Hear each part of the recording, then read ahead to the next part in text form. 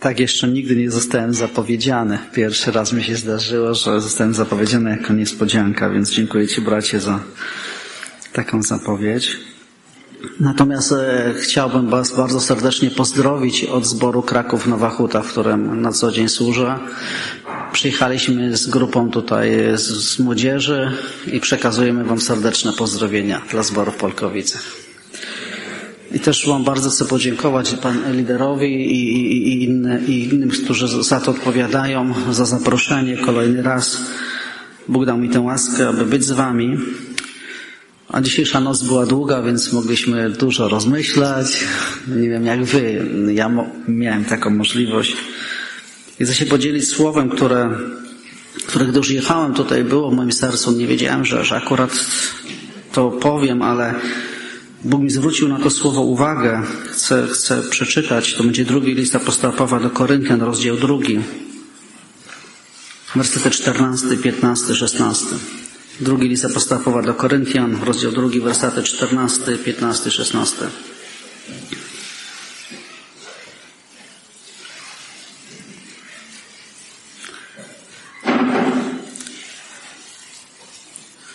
Lecz Bogu niech będą dzięki, który nam zawsze daje zwycięstwo w Chrystusie i sprawia, że przez nas rozchodzi się wonność poznania Bożego po całej ziemi. Zaiste myśmy wonnością Chrystusową dla Boga wśród tych, którzy są zbawieni i tych, którzy są potępieni.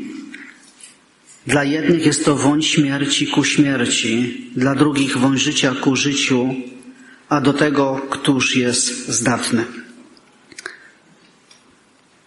Myślę, że to nie będzie odkrycie, kiedy zwrócę uwagę na to, że każdy z nas wydaje jakiś zapach. Tak, każdy z nas wydaje jakiś zapach. Człowiek wydaje zapach od wewnątrz, czyli nasza skóra oddycha.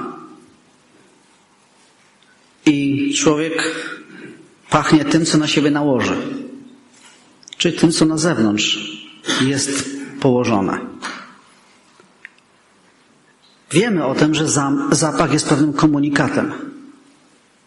Czasami bardzo świadomym komunikatem. Bardzo świadomie nakładamy na siebie pewne rzeczy, aby wydać świadomy komunikat. Zapach wiele zdradza, bo kiedy rodzice oczekują w domu na syna, który wraca późno i nagle, gdy wejdzie, poczują swąd ogniska, to wiedzą, że gdzieś był, bo jego, nie wiem, ubranie, włosy przesiąkły grillowaniem na przykład.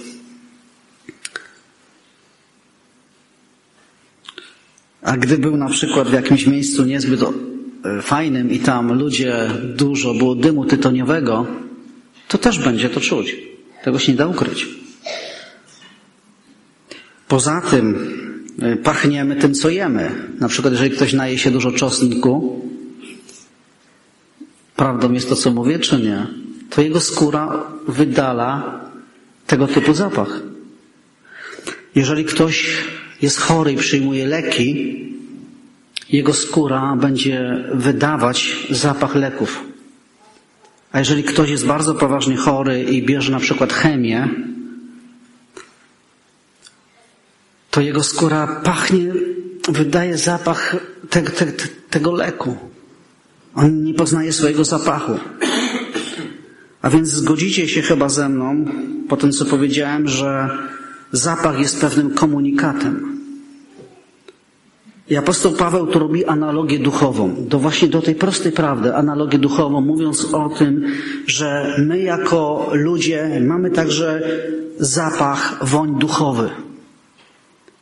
Nie wiem, czy zwróciliście na to uwagę, ale na przykład ludzie, którzy są bardzo, bardzo żyją w ciemności, żyją w grzechach, albo są związani okultyzmem, rozsiewają wokół siebie pewną aurę. My ją możemy odbierać, odczuwać. Jest to pewien rodzaj jakiejś, jakiejś woni, którą od, od, odczuwamy. W tym fragmencie apostoł Paweł zwraca uwagę, mówiąc do nas o ludziach odrodzonych, zbawionych, że przez nas rozchodzi się pewien rodzaj wonności. Werset czternasty. Popatrzmy szczegółowo. Rozchodzi się wonność poznania Bożego. Wonność poznania Bożego. Konferencja, na której byliście, czy część z Was była, mówiła o poznaniu Boga. Wonność poznania Bożego. A więc my jako ludzie też oprócz tego zapachu naturalnego, czyli tego, który na siebie nałożymy lub wydalamy, wydzielamy jakiś zapach duchowy. I apostoł Paweł nam podpowiada, mówi nam, że on tutaj mówi o sobie, ale ja to rozciągam na wszystkich ludzi zbawionych, na wszystkich chrześcijan, że jest to wonność poznania Bożego. A więc pierwszy warunek, i myślę, że to jasno wynika z tekstu, aby być człowiekiem, który rozpyla wokół siebie, czy, nie wiem, wydziela wokół siebie woń poznania Bożego, to warunek pierwszy jest i niezbędny i konieczny, aby to poznanie Boga było w naszym życiu. Nie można wydzielać woni poznania Bożego bez poznania Boga.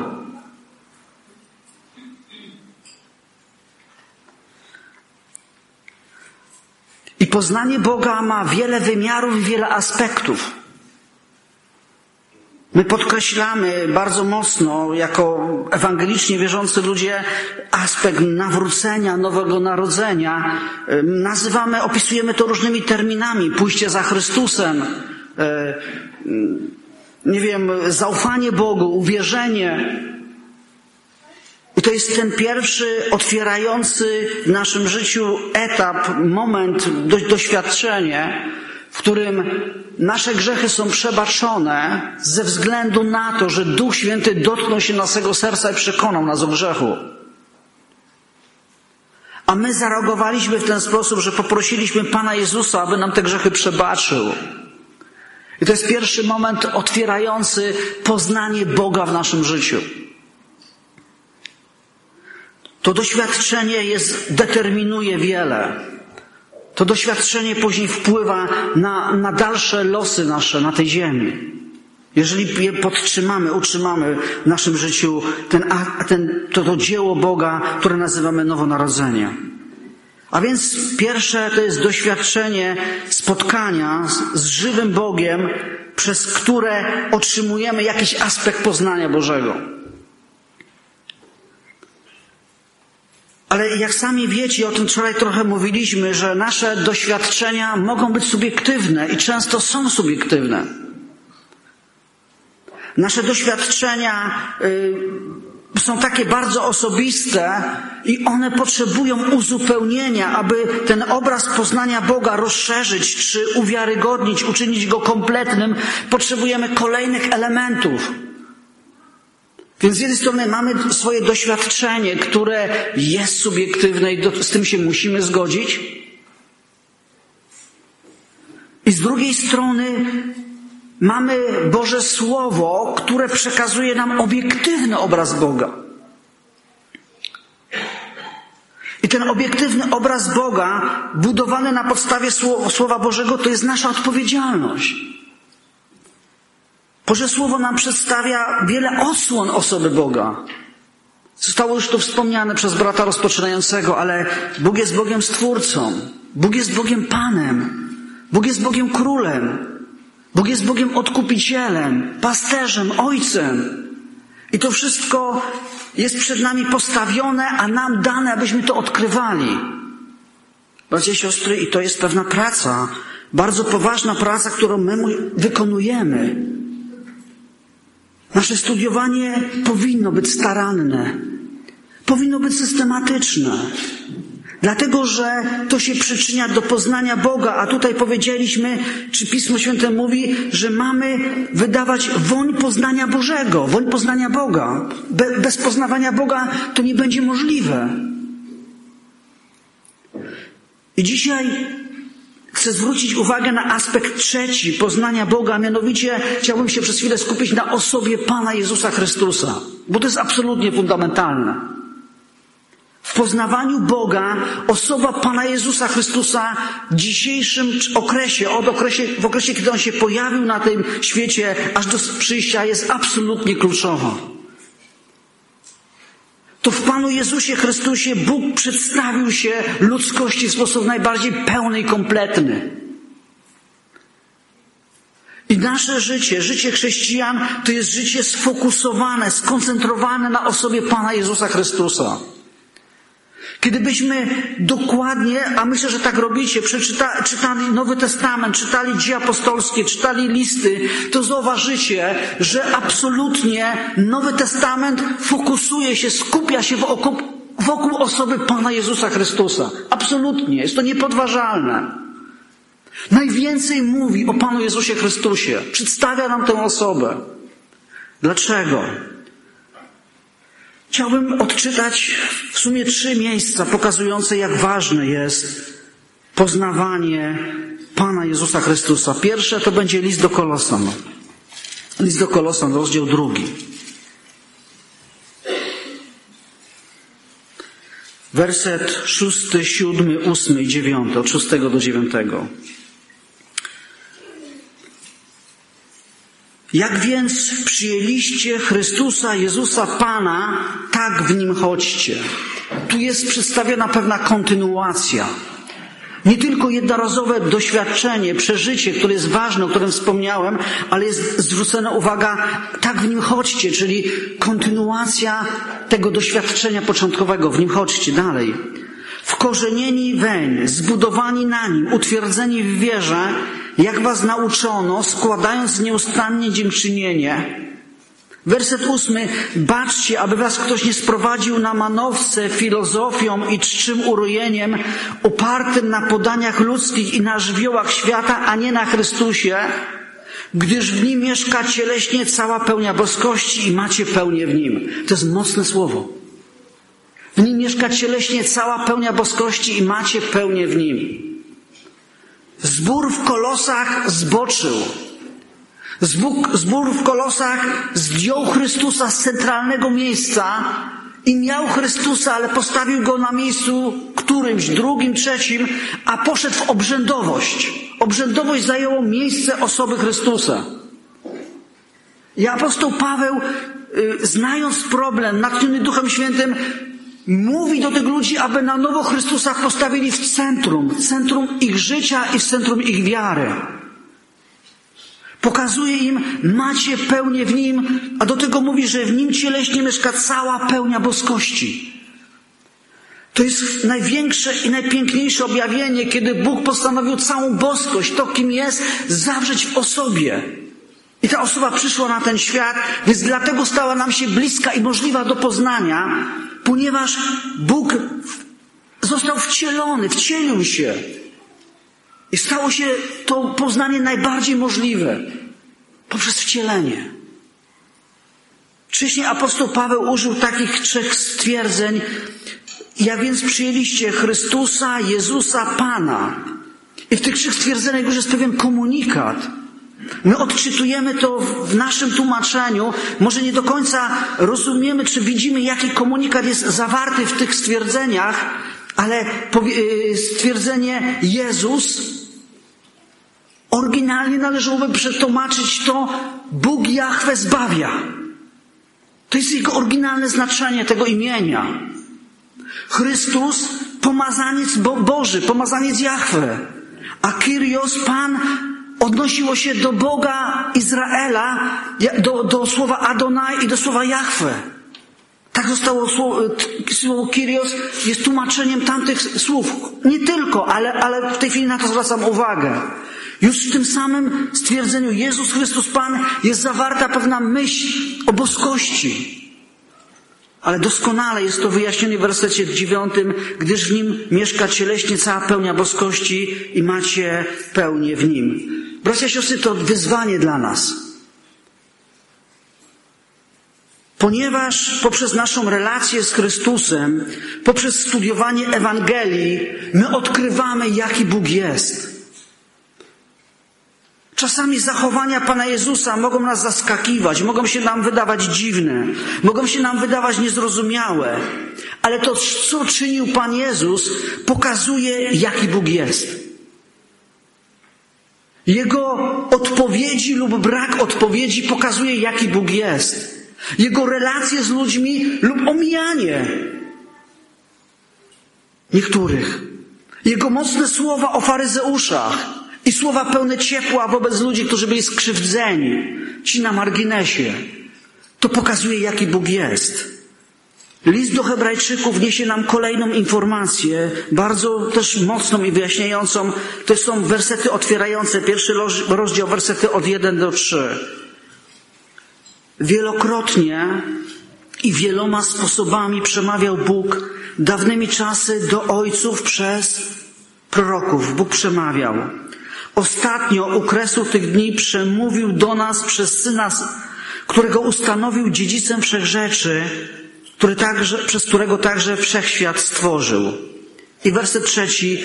On, który jest odblaskiem chwały i odbiciem Jego istoty i podtrzymuje wszystko słowem swej mocy, dokonawszy oczyszczenia z grzechów, zasiadł po prawicy majestatu na wysokościach. I werset trzeci nam przekazuje wielką prawdę. On, Chrystus, który jest odbiciem chwały Bożej i jest odblaskiem chwały Bożej i odbiciem Jego istoty. A więc w Chrystusie jest zawarta cała istota Boga. Chrystus odbija istotę Boga, odbija Jego chwałę. I teraz odkrywając istotę Chrystusa, odkrywając chwałę Chrystusa, odkrywamy istotę Boga. To jest nasze, nasze, jakbym powiedział, to wyzwanie y, dla naszego życia, bym powiedział wręcz zadanie na całe nasze życie.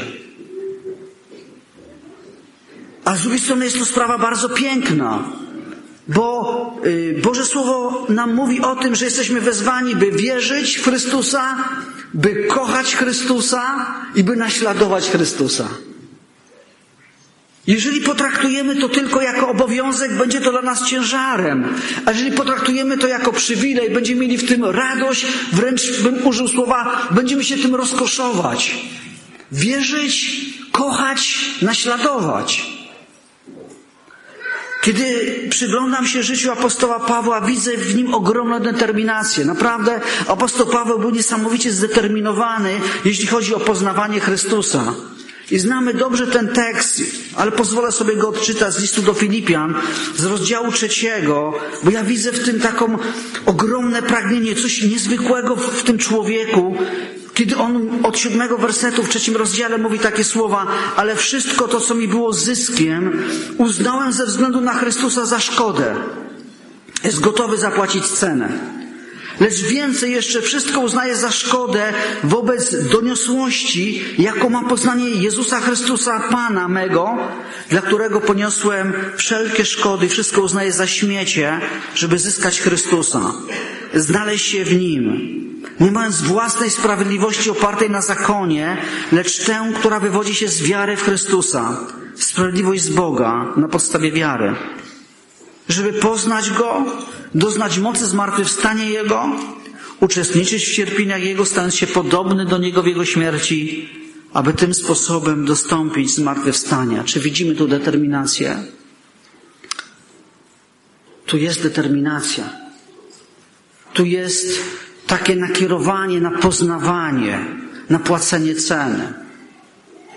A więc, bracia i siostry, pierwszy aspekt tego fragmentu z listu do, Kory, do Koryntian, drugiego e, listu do Koryntian, że mamy być wonnością Bożą, związany jest z poznaniem Boga.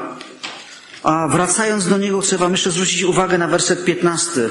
Drugi Koryntian, rozdział drugi, Werset 15, w wersecie 14 jest powiedziane, rozchodzi się wonność poznania Bożego po całej ziemi, a werset 15 mówi, zaiste myśmy wonnością Chrystusową, jest znak równości.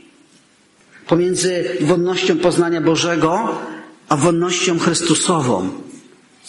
Tutaj Chrystus ma absolutnie kluczowe, centralne miejsce. Więc podsumowując tą, ten, ten fragment, tę część, chcę powiedzieć, że abyśmy byli wolnością poznania Bożego, to poznanie Boże w nas musi się rozwijać i wzrastać. Od doświadczenia, czyli nawrócenia, osobistego spotkania z Bogiem, poprzez poznawanie Boga w Słowie, poprzez poznawanie Pana Jezusa Chrystusa, przez naszą relację z Nim, modlitwę, Ewangelię, obserwację, to wszystko, co ma związek z poznawaniem. I drugi aspekt bycia wolnością Chrystusową, bycia wolnością poznania Bożego, werset otwierający, werset czternasty, lecz Bogu niech będą dzięki, który nam zawsze daje zwycięstwo w Chrystusie i sprawia. Daje zwycięstwo i sprawia.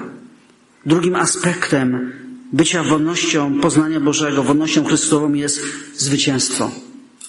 Chcę na to Wam zwrócić uwagę teraz. Zwycięstwo. Może powiem tak, przegrany nie może być wolnością Chrystusową i wolnością Bożą. Przegrany nie może. Bóg nam daje zwycięstwo po to, żeby ta wolność Chrystusowa się rozchodziła przez nasze życie. Jednocześnie to stwierdzenie mówi nam o pewnym napięciu, pewnym konflikcie, pewnej walce. Tam, gdzie jest zwycięstwo, tam jest walka, tam jest napięcie, tam jest konflikt. Czasami ta walka jest w sferze intelektu, słyszeliśmy o tym wczoraj. Czasami ta walka jest w sferze duchowej presji. Czasami ta walka, ten konflikt jest w, w kontekście okoliczności, w których przychodzi nam się żyć. Ale aby ta woń Chrystusowa, woń poznania Bożego, to poznanie Boże, które jest w nas, mogło emanować jako ludzie wierzący w Jezusie Chrystusie, powinniśmy odnosić zwycięstwo. I teraz chcę zwrócić uwagę na ten sam list, na rozdział następny, rozdział czwarty, wersety siódmy, ósmy i dziewiąty.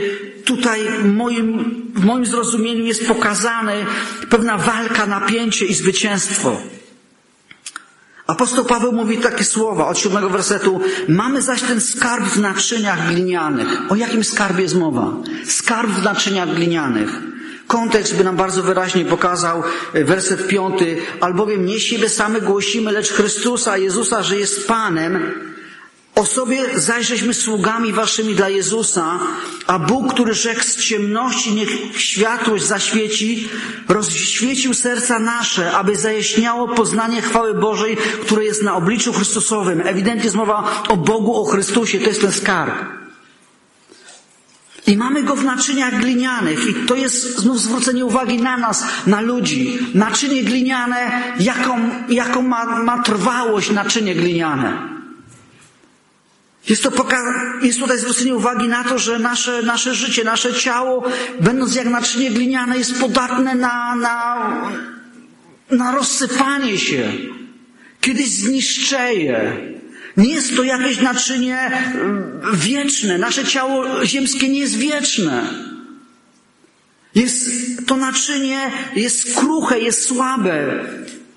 Może nam się wydaje, że nasze ciała są, nie wiem, jakieś wyjątkowo mocne, trwałe, ale obserwując życie, wiemy, jak kruche jest nasze życie. Apostoł Paweł miał rację, mówiąc, że jest ten skarb w naczyniach glinianych. Chociażby nie, nie wiem, jak, jak bardzo byśmy podkreślali naszą wartość, to i tak Biblia nam mówi, że jest to skarb w naczyniach glinianych. Skarbem jest Chrystus, to jest skarb. A nasze ciało jest naczyniem glinianym.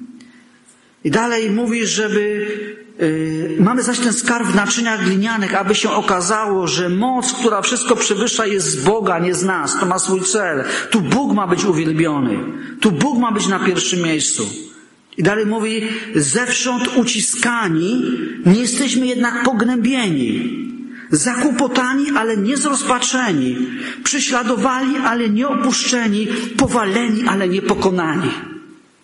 Oto skarb w naczyniach glinianych i to gliniane naczynie poddane jest tym procesom, które tu, jest, tu są powiedziane. Czy doświadczacie tego? Czy przeżywacie to jako dzieci Boże? Te procesy, które tu są opisane, jest tu jakieś napięcie, walka, zewsząd uciskani. Tak, to naczynie gliniane, w którym jesteśmy, w którym jest skarb, a skarbem, jak powiedziemy, jest Chrystus, jest zewsząd uciskane. Mamy różnego rodzaju naciski na nasze życie, różnego rodzaju presje na nasze życie.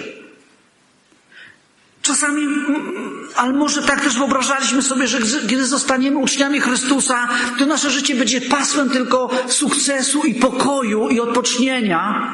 A tu nagle okazuje się, że to naczynie gliniane jest zgniatane, jest uciskane.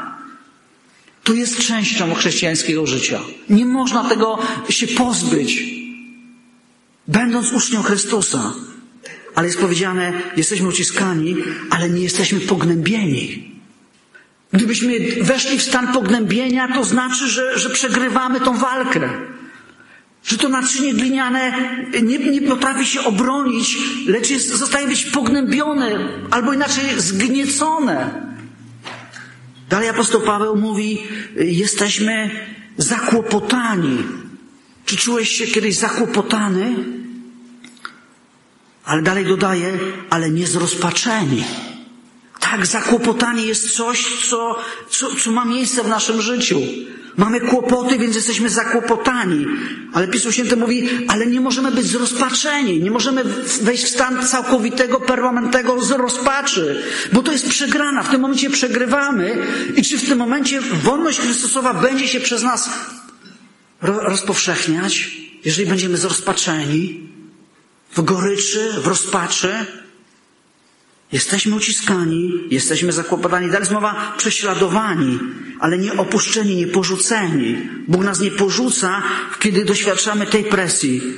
A dalej jest takie mocne stwierdzenie powaleni. Możemy być nawet powaleni. Tak jest w naszym tłumaczeniu. Inne tłumaczenia troszkę inaczej to oddają. Powaleni.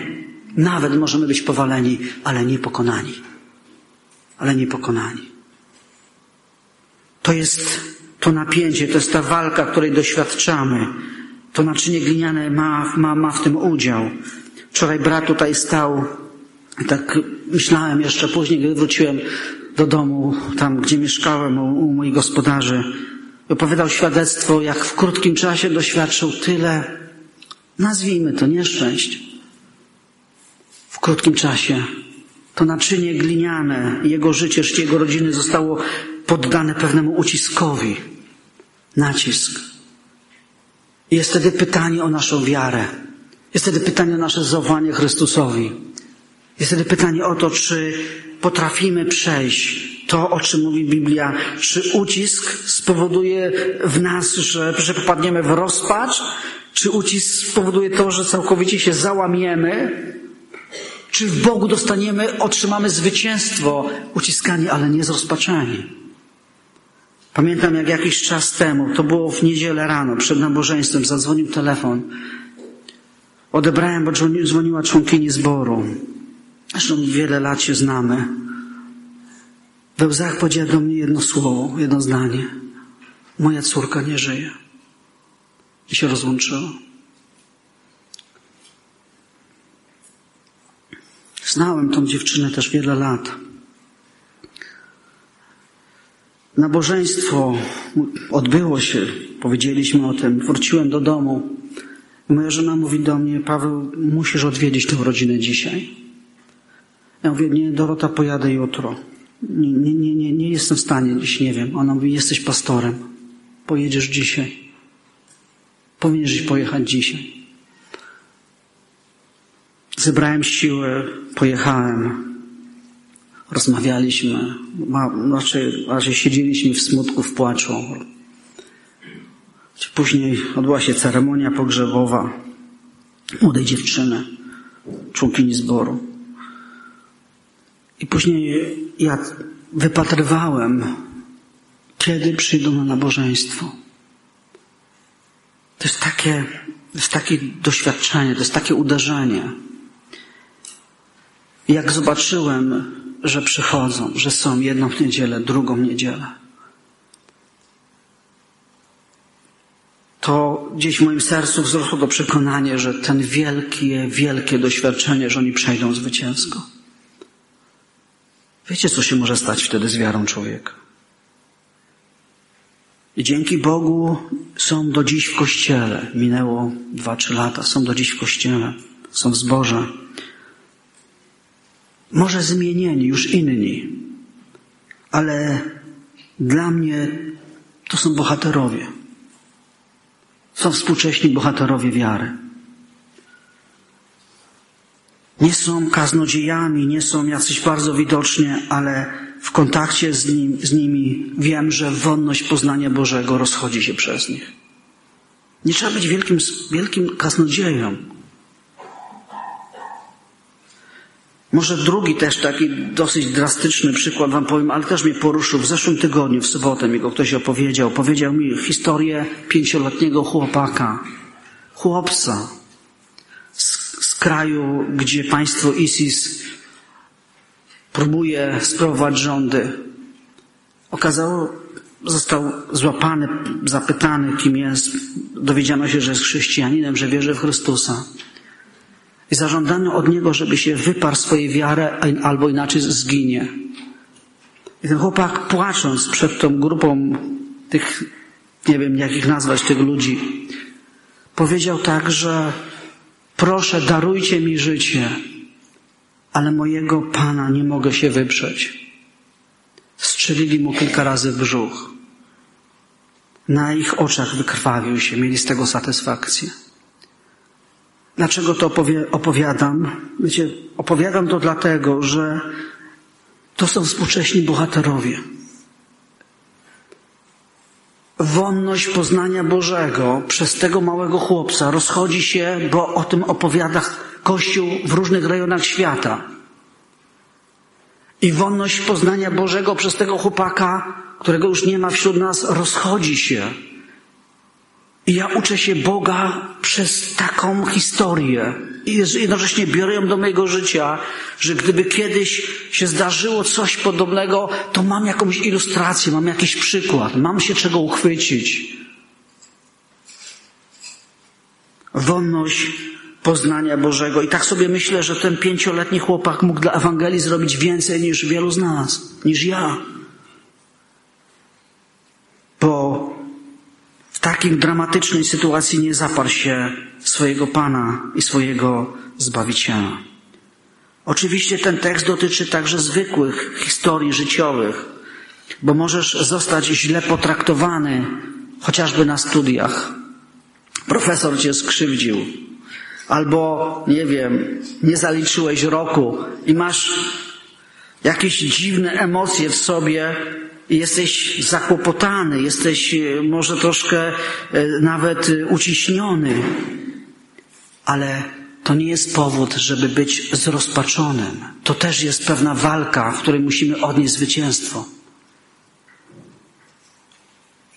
Może jechałeś dzisiaj do zboru samochodem i ktoś w sposób nieelegancki zajechał ci drogę.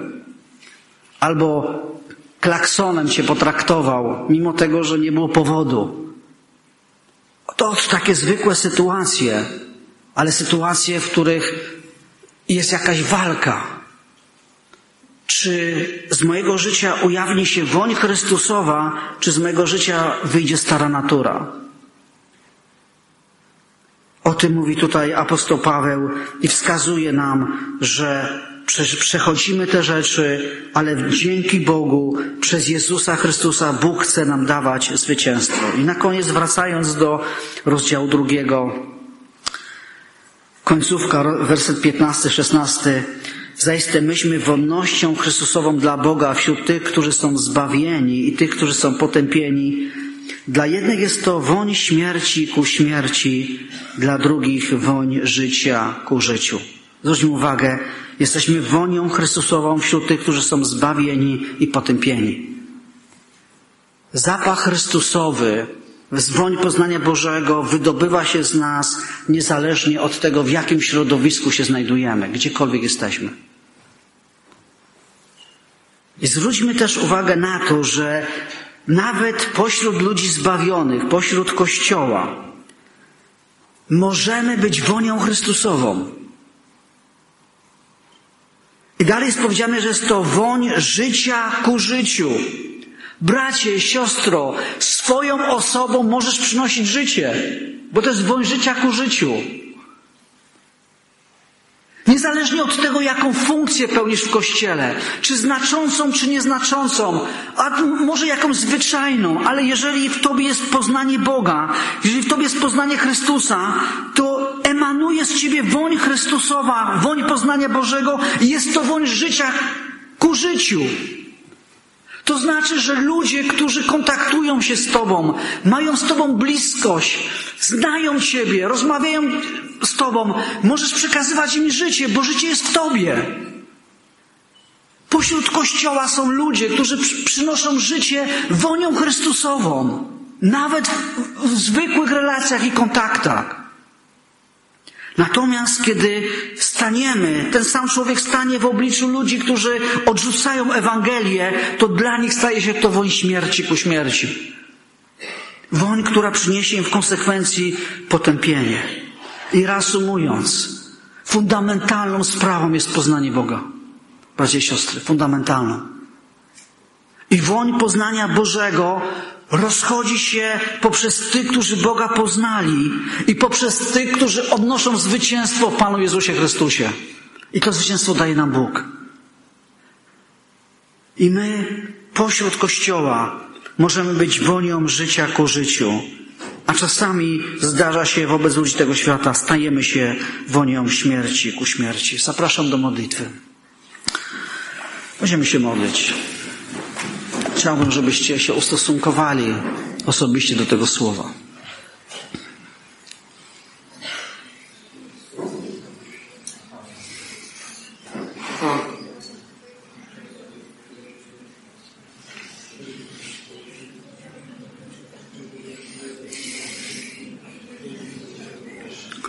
Ojcze, dziękuję Tobie za Pana Jezusa Chrystusa, najwyższy skarb, największe dobro. Panie Jezu, Ty jesteś ponad wszystko, nie ma takiego jak Ty. Panie Jezu, mamy ten skarb w naczyniach glinianych. Od nasze ciało, nasze życie to naczynie gliniane. Ale Ty, Ojcze, powołałeś nas do tego, aby woń poznania Bożego rozchodziła się przez nasze życie. To jest coś naturalne, jeżeli poznanie Boga jest w nas. To jest coś, co naturalnie się dzieje, kiedy Chrystus jest w nas. Kiedy Chrystus jest objawiony i poznawany. Kiedy Chrystus jest centrum naszego życia. Kiedy Chrystus jest centrum naszych myśli. Kiedy Chrystus jest centrum naszych aktywności. Kiedy nie zapominamy o naszym Panów. Ojcze, i drugą ważną sprawą to jest to, abyśmy, będąc uciskani, odnosili zwycięstwo. Gdy odnosimy zwycięstwo, ta wonność poznania Bożego rozchodzi się przez nasze życie. Kiedy popadniemy w rozpacz, kiedy popadniemy e, w przegraną, Boże, ta woń zostaje zahamowana, zatrzymana. Ale Tobie dziękuję, że Ty mówisz, że zdajesz nam zwycięstwo w Chrystusie. Przeprowadzasz nas przez proces zmagania i walki do zwycięstwa. Ojcze, i ta, ta woń Chrystusowa się rozchodzi coraz intensywniej, jest coraz głębsza. Ten zapach jest coraz bardziej intensywny, coraz bardziej piękny, coraz bardziej głęboki, coraz bardziej docierający. Boże, nawet to nie zależy od tego, ile mówimy i co mówimy. Wystarczy być, Wystarczy przejawiać naturę Chrystusową, charakter Chrystusowy. Wystarczy dzielić się pokojem Bożym, który jest w nas. Wystarczy dzielić się słowem, które wkładasz w nasze serca, mądrością. Wystarczy Pani podnosić ręce bratu, który jest mu ciężko. Panie, ta wolność Chrystusowa może się rozchodzić. Panie, po naszym życiu. I dzisiaj chcę się pomodlić o Kościół w Polkowicach, o wszystkich tu zgromadzonych, o siebie też. Ojcze, modlę się o to, by Pan Jezus Chrystus był wkorzeniony, ugruntowany, mocny w naszym życiu. Ojcze, modlę się, by nasze życie było zbudowane na Panu Jezusie Chrystusie. Boże, tak szczególnie chcę błogosławić tych, którzy dzisiaj są w ucisku, w walce Ci, którzy są, Panie, w takim zmaganiu, oni czują taką presję, mocną presję. Ojcze, proszę Cię, aby łaska Boża była tak mocna nad nimi, żeby odnieśli zwycięstwo w tej presji. Ojcze, tak modlę się, Boże, by przyszło Twoje posilenie w ten sposób, aby mogli to zwycięstwo otrzymać, wziąć. Panie Boże, bądź dzisiaj pomocnikiem po prawicy. Bądź tym, który staje mocno, Panie, przy tym, który szuka Ciebie, a jest w kłopocie. Ojcze, uspokój myśli. Tam, gdzie są skołatane myśli, by nie wkradło się zrozpaczenie. Ojcze, ale zostało zahamowane. Boże, tak chcę błogosławić wszystkim tym, którzy przechodzą presję y, sił ciemności. Ojcze, aby zbroja Boża była na tyle mocna w nich, by dać odpór temu. Ojcze, modlę się o tych, którzy przechodzą dylematy intelektualne. Boże, aby przyszło poznanie, zrozumienie i wyjaśnienie, które płynie z mądrości Twojej. Ojcze, bo to wszystko ma służyć ku temu, aby Chrystus był wywyższony, uwielbiony. Panie, na końcu zawsze jest jedna sprawa, czy Bóg jest uwielbiony. Na końcu jest zawsze pytanie, czy Bóg był w tym uwielbiony. Boże, i w czym jest Bóg uwielbiony, to ma wartość, to się liczy. Boże, i tak modlę się o to, by to uwielbienie Boga przez Pana Jezusa Chrystusa stawało się coraz wyrazi, bardziej wyraziste w moim i w naszym życiu. Ojcze, bo to tak naprawdę prowadzi do tego, że ta woń Chrystusowa przenika i dotyka się poszczególnych ludzi. Dziękuję Ci, Panie, za czas. Dziękuję Ci za słowo Twoje. Dziękuję Ci za Kościół w Polkowicach. Dziękuję Ci, Ojcze, przez Pana Jezusa Chrystusa. Amen. Amen.